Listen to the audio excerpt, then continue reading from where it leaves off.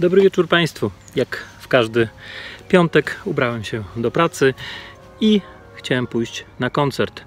No ale przecież wszystko odwołane. Z domu wychodzić się nie powinno, do czego zachęcam, no chyba że do ogrodu, nie mając kontaktu z innymi.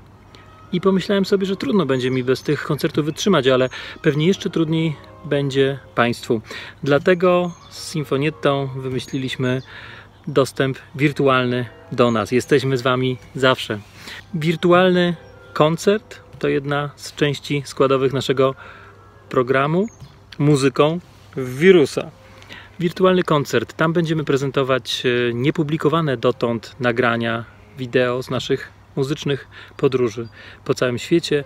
Oczywiście w tym roku najważniejszy Beethoven, 250. rocznica urodzin tego wielkiego mistrza. Koncertów organizować nie można, więc my poprzez nasze wspaniałe nagrania z takimi artystami jak Stefan Wladar czy Rafael Pajar z naszych podróży do Japonii, Chin, a tak właśnie zaczniemy. Egmontem z Chin, bo tam życie powoli wraca już do normy. Serdecznie zapraszam już jutro o godzinie 19 na wirtualny koncert. Niedzielę o 12 zaczynamy ofertę dla dzieci sinfonietkowe karaoke.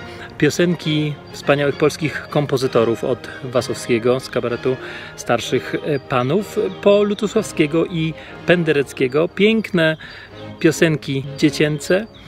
Najpierw w wykonaniu Sinfoniety Krakowi pod moją dyrekcją i sinfonietkowego chóru dziecięcego, a następnie w wersji karaoke do wspólnego śpiewania, muzykowania dla całej rodziny. Oczywiście będą też konkursy, będzie można własną wersję takiego utworu wysłać do nas, a my ją, tę najlepszą, opublikujemy.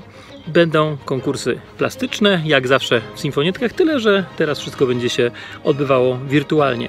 Natomiast dla uczniów, studentów, ale też amatorów gry na różnych instrumentach smyczkowych e, polecamy serdecznie program Kursy instrumentalne, mistrzowskie kursy z muzykami Sinfonietty Krakowi. Koncertmistrz Sinfonietty Maciej Lulek oraz, oraz wielu innych wspaniałych liderów i muzyków Sinfonietty będzie e, udzielać takich lekcji przez komunikatory internetowe. Wszystkie szczegóły na naszej stronie www.sinfonietta.pl, na Facebooku i innych mediach społecznościowych.